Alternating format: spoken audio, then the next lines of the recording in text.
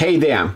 Sometimes it happens that you have to flip your ESC. Probably it's because of an accident, because you messed it up, but probably it's also as you want to switch it to another way to fit it better in your frame or something like that. In this case, you have to remap your motors. Today I want to show you how you can easily remap your motors. And it sounds difficult, but to be honest, it's just a short procedure and not difficult at all. But enough of talking. Let's go!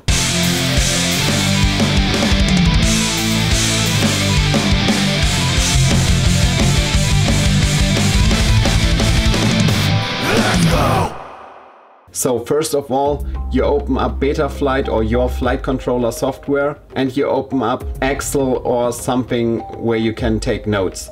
You can also take notes on a paper, but I do it with Excel. Then you have to connect your computer to Betaflight and we want to go in the Motors tab. In the Motors tab, we plug in a battery. Please always make sure to take your props off I understand the risks and then we will have a look. So we expect that motor 1 is spinning so as you can see above here the bottom right uh, motor but in our case the front left motor is spinning so we write down motor 4 will be our motor 1 and vice versa then we see motor 2. Motor 2 is um, the front right motor, but right now it's the bottom left motor. So we say motor 3 here. And then we have motor 3, which is currently motor 2. So you see it should be the bottom left, but it is the front right.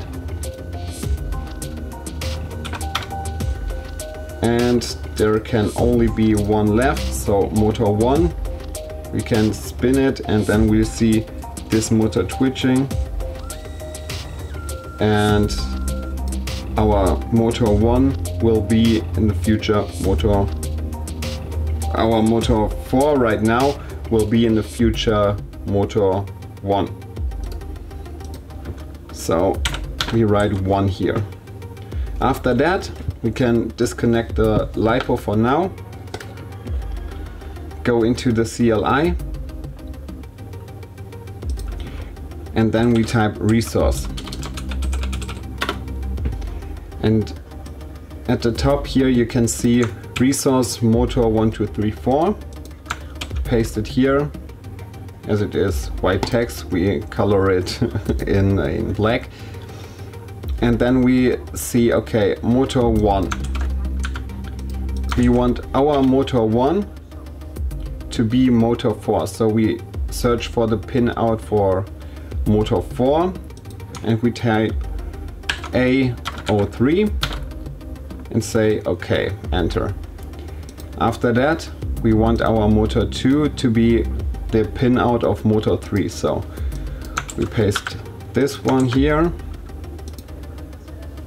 Get B00 so the pin out for motor 3 and say okay and enter. Then we want to remap motor 3 which is the value of motor 2 so B01 and last not least we want motor 4 to have the pin out of motor 1 and we say A02. After that is done, we hit save. And we go to the motors tab again to see if everything's working.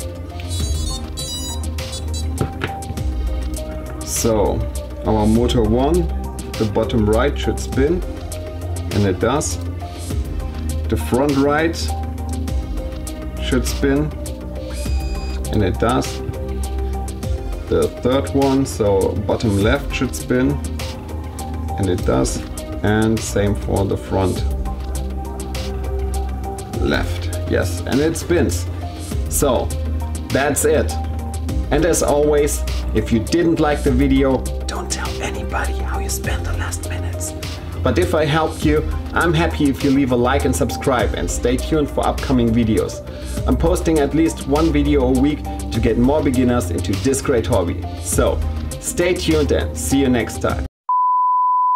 But to be honest, it's... But to be honest, it's... But to be honest, it's just a short... It. Remapping is easier than speaking to the camera. But to be honest, it's just a short procedure